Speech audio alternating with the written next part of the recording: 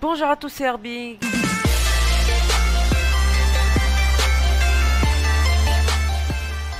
Aujourd'hui, nouvelle vidéo, on est sur Prépare 3D. On est dans un Airbus A320 de chez Lufthansa pour faire un vol entre Francfort et Amsterdam. Donc beaucoup de choses ont, sont passées depuis la première vidéo que j'ai faite sur simulateur.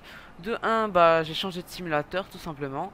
De 2, j'ai acheté quelques trucs. Enfin, c'est principalement des avions. Donc là, par exemple, on est avec le Aerosoft Airbus X donc de chez Aerosoft. Euh, j'ai aussi acheté du PMDG, j'ai acheté euh, pas mal de scènes aussi, donc pour rendre les aéroports un peu plus beaux, comme celui de Francfort, euh, comme vous pouvez voir. je mettrai, je pense, la liste de tous mes add-ons dans la description, mais je vous préviens tout de suite. Il y a une grande partie qui est payante. J'utilise quelques add-ons gratuits, mais il y a une grande partie qui est, qui est payante. Et puis aussi, bon, ça c'est un détail, mais il y a aussi du trafic avec nous. On n'est pas tout seul à Francfort. Donc, on va pouvoir partir tout de suite. On va aller dans notre cockpit. On va tout d'abord allumer nos deux batteries. Et puis, le FMC s'est allumé. On va aller ouvrir nos deux portes cargo. Hop. Donc, celle de derrière est ouverte. Celle de devant maintenant est ouverte. Voilà, donc elles sont bien ouvertes. On peut continuer. Donc, maintenant, on va allumer nos écrans. Comme ceci. Hop. On va allumer nos iCams, donc euh, c'est les écrans du milieu, tout simplement. Hop. Ensuite, euh, on va se brancher sur l'external power, donc euh, l'alimentation externe. Le Naven logo, il est on. La radio, on va la mettre sur on. Hop. L'ICAM recall, juste là. Voilà. L'emergency light, il est arm. On va mettre les no smoking. Hop. Euh, ensuite, euh, les pompes. Donc on va allumer tout ça. Enfin, éteindre ou allumer, je sais, je sais pas en fait. Je sais qu'il faut juste appuyer ici. On va tester... Euh, voilà. Donc en cas d'éventuel incendie, on teste si l'alarme marche bien. On va tester les lumières par la même occasion. Hop. Tout a l'air de marcher. Hop. Et puis, euh, et puis on va aligner les sur nav. Voilà. Donc maintenant, on va pouvoir aller dans notre FMC. Donc init, on va aligner nos ERS. On va partir de Echo Delta Delta Foxtrot jusqu'à euh, Echo Hotel Alpha Mike. Voilà. Normalement, voilà, notre route est déjà chargée. Ça va prendre un peu de temps à faire. Mais bon, c'est pas grave. En attendant, on va admirer notre avion. Euh, malheureusement, les passerelles sur cette scène-là, elles marchent pas. Euh, c'est dommage, hein, j'ai payé, j'ai payé assez cher pour cette scène et malheureusement, les passerelles ne fonctionnent pas.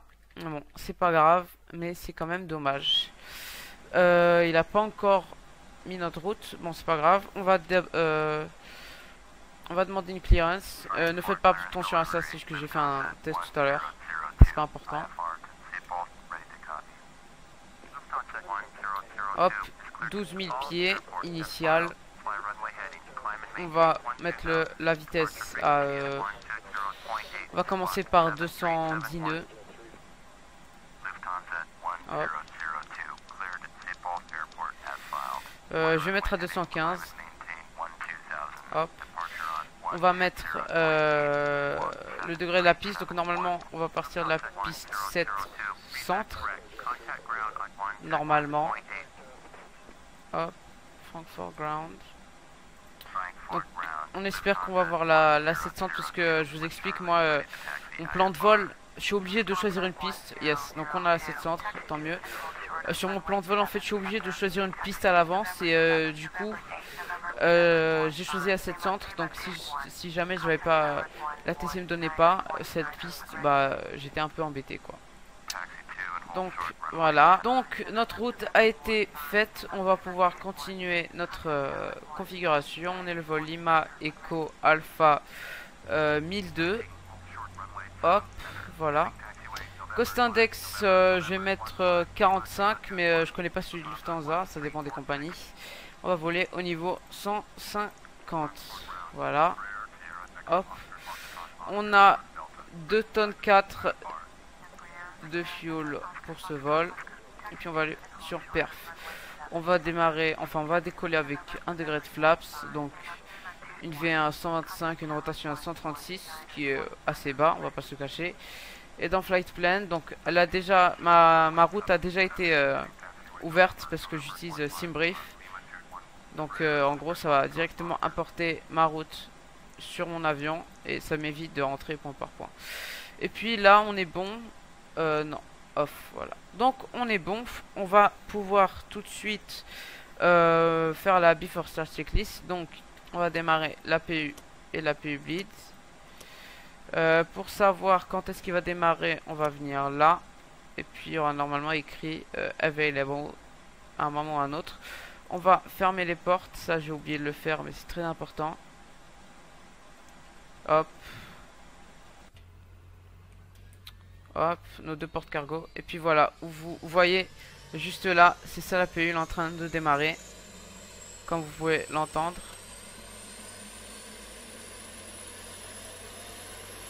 Hop. Euh, ouais, là aussi vous pouvez voir les curseurs qui sont en train de monter. Donc, il est bien en train de, euh, de monter. On a nos IRS qui s'alignent dans une minute, enfin moins d'une minute normalement. On va tester.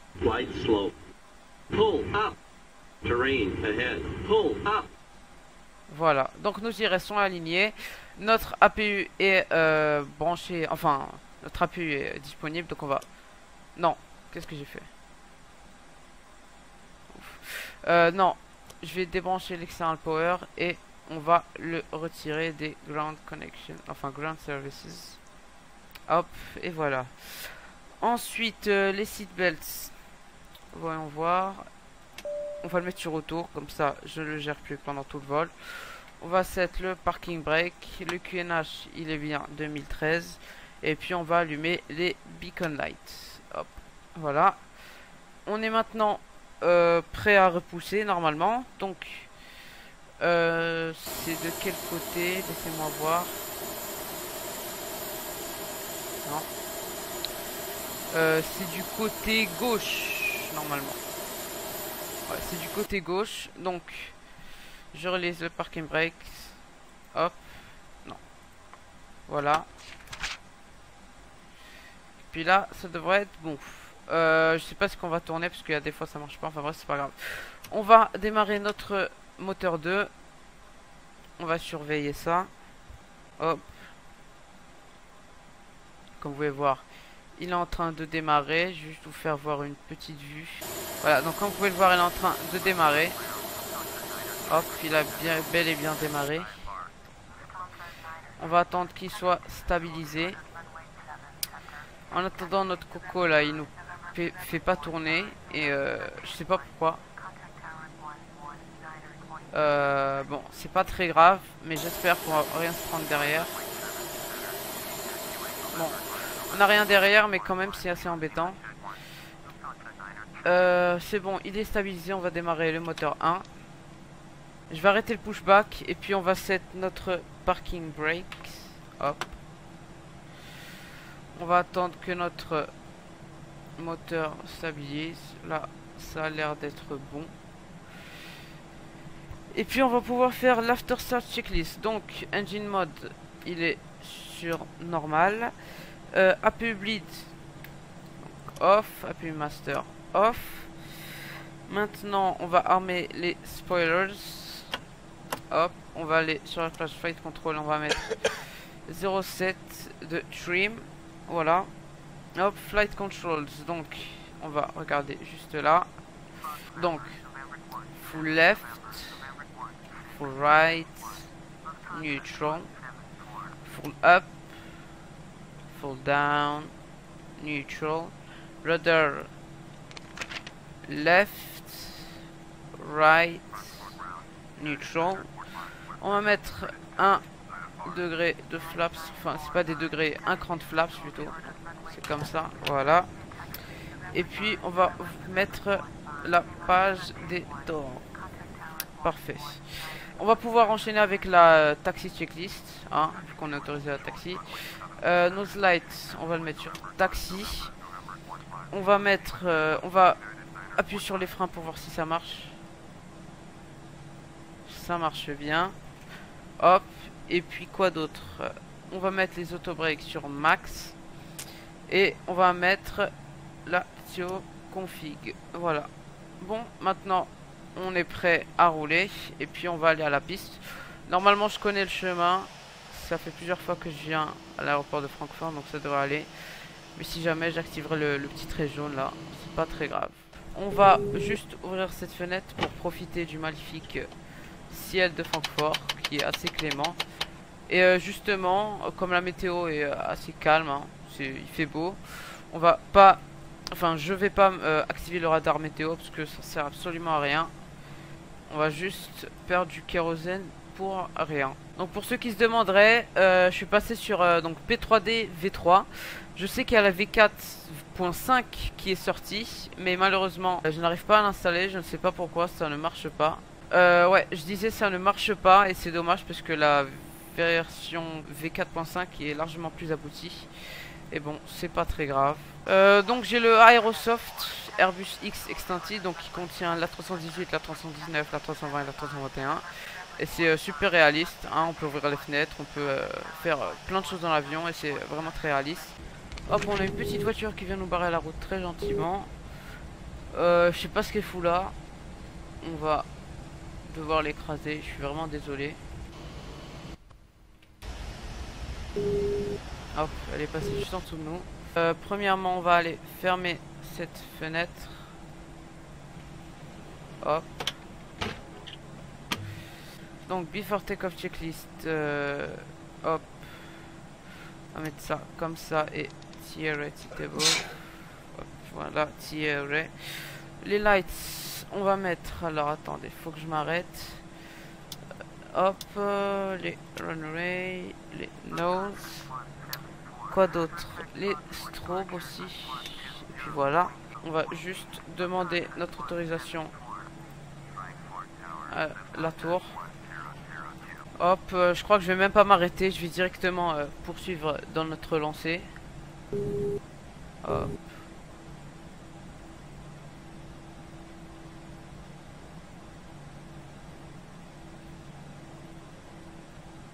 On runway 0 7 left. On va démarrer notre chronomètre. Hop, on voit qu'il est bien 2 secondes. Et puis on va pouvoir mettre les gaz. Hop, on met à 50%. Et là, on peut mettre à 100. Hop, donc ça va aller assez vite.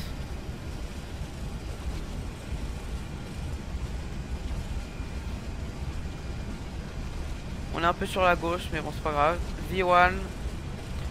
Rotate. Video. Positive climb. Gear up.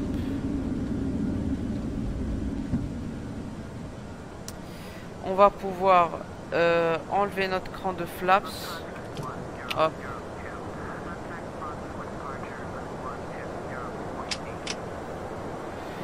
On va passer sur 120.8.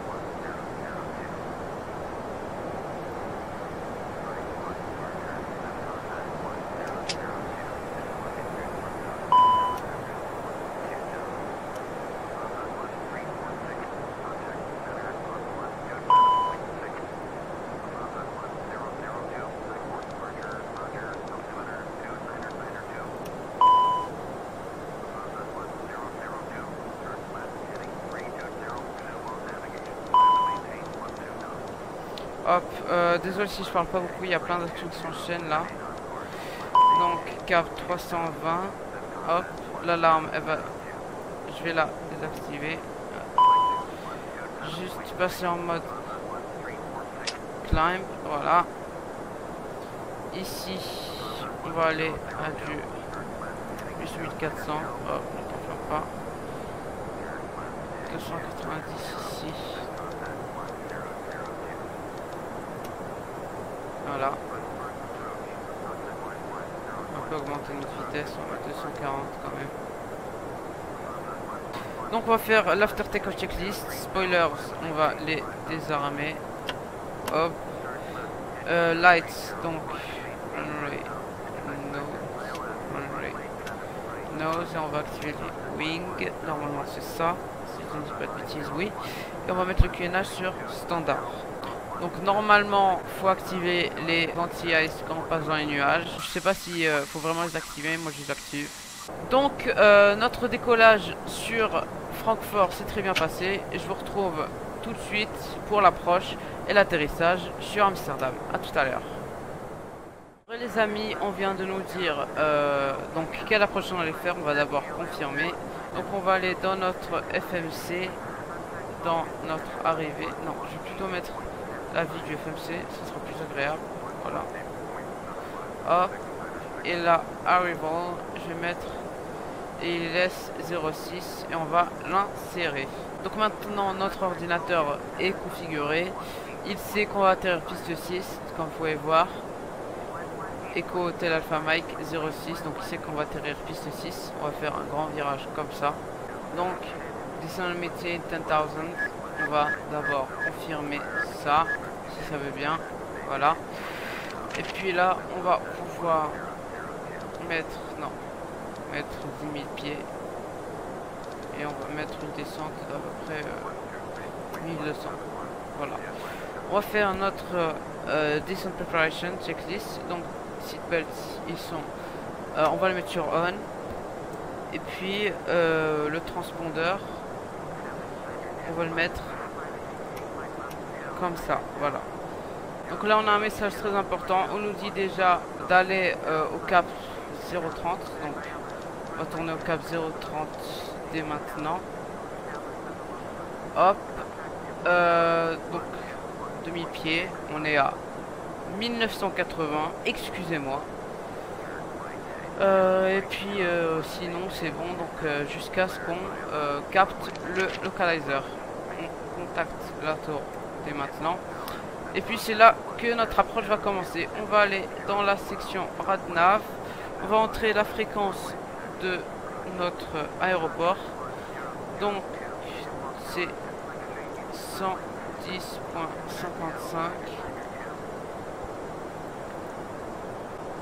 Non, attendez. Donc on va configurer, donc il y a déjà 110.55. On va mettre le cap 0.59, donc en fait c'est la course.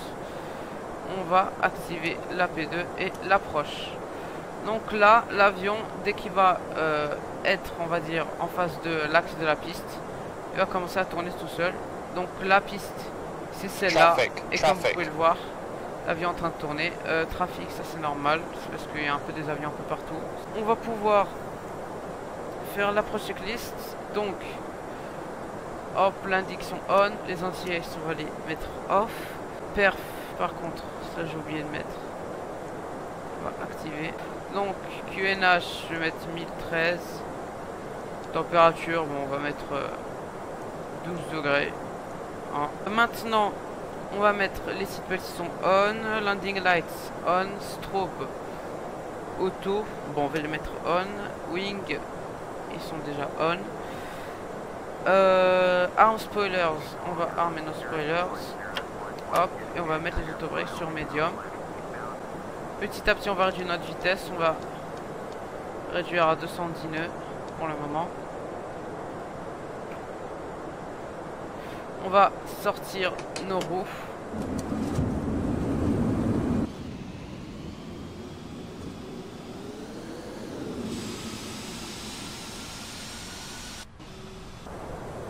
Hop, et puis on va pouvoir mettre les flaps petit à petit. Hop, flaps 1. Je dirais vitesse à 180.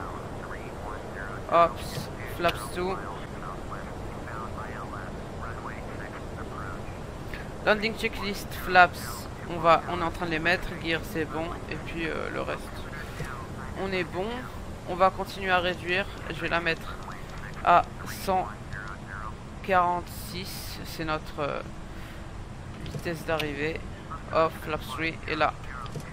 Flaps full, on va pas tarder à prendre l'avion en manuel. Hop, clear to land, on est autorisé. Bon les gens, on est sur euh, l'arrivée sur Amsterdam. Je vous ai mis euh, deux vues sur euh, votre côté gauche pour voir notre arrivée. Alors je suis désolé si ça lag, j'ai essayé de baisser le trafic comme je peux. J'ai essayé de d'augmenter un peu les, les perfs. Mais bon, excusez-moi si la qualité n'est pas ouf. Ouais, j'avoue que ça rame un peu là. Donc, au niveau du glide, on est pas mal. 1000. Hop, on va descendre un peu. On va corriger un peu tout ça. Un peu moins vite. Ouais, c'est vraiment stable tout ça. Un peu trop bas là. Et un peu trop lent même.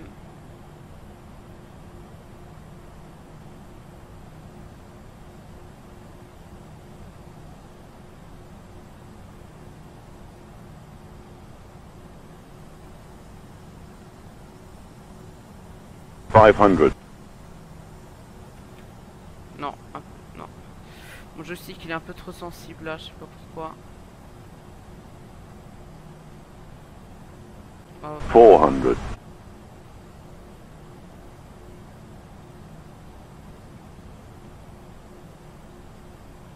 Three hundred. Two hundred. Two hundred. Là, on va un peu réduire.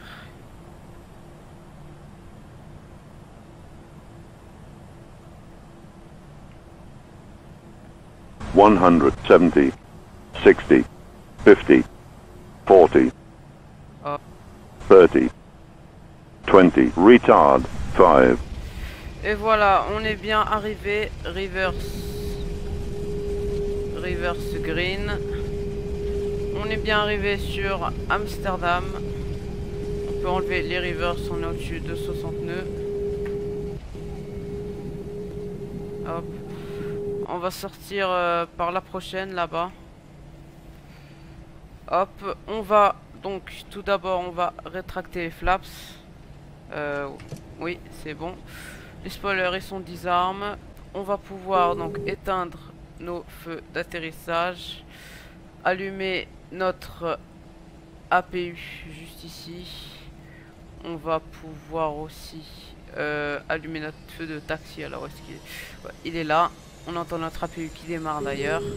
Le beacon, on peut l'allumer. Et puis euh, le reste, ça devrait aller.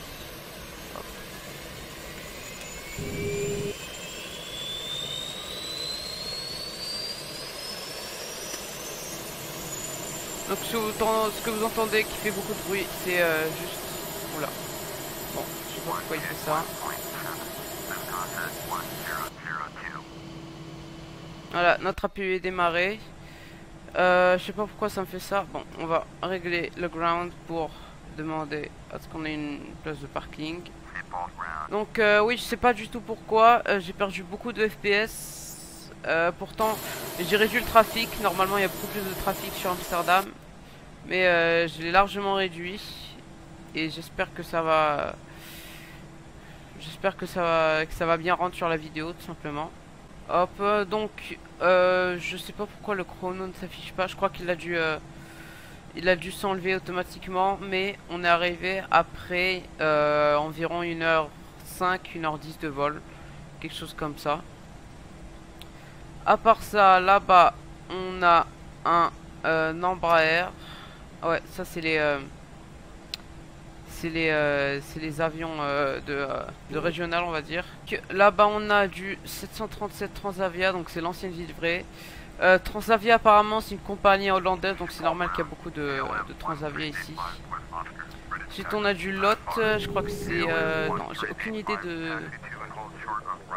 J'ai aucune idée. Ah oui, euh, c'est polonais. Là-bas, qu'est-ce qu'on a? Là-bas, des pays pareil. Et là-bas, on a un 737 de chez KLM. Alors maintenant, donc on avait dit c'était la Bravo 15. Alors la Bravo 15, euh, faut que je vérifie. Donc ici on a la Bravo 35, et nous on a la Bravo 15. Euh, voyons voir.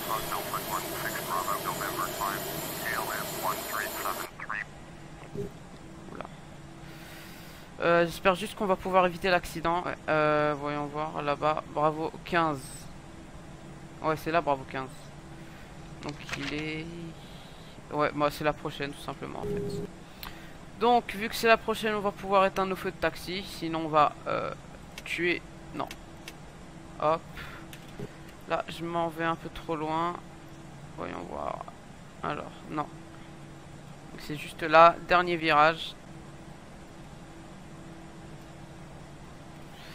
Hop. Euh, normalement, le euh, truc pour nous dire on doit s'arrêter, le truc qui est en face là, il devrait marcher. Donc, euh, je devrais voir quand il me dira stop. Mais si jamais, s'il marche pas, c'est pas grave. Je vais ralentir un peu. Voilà, stop. Parking brake, on va le 7. On va éteindre nos deux moteurs. Ensuite, on va éteindre la consigne. Hop. Et puis on va laisser le temps qu'il s'éteigne vraiment. Le strobe, on va pouvoir l'éteindre. La radio, euh, on va pouvoir l'éteindre aussi. Hop, voilà, nos deux moteurs sont éteints. On peut éteindre le beacon. Euh, on va aussi donc mettre les cônes et les euh, cales.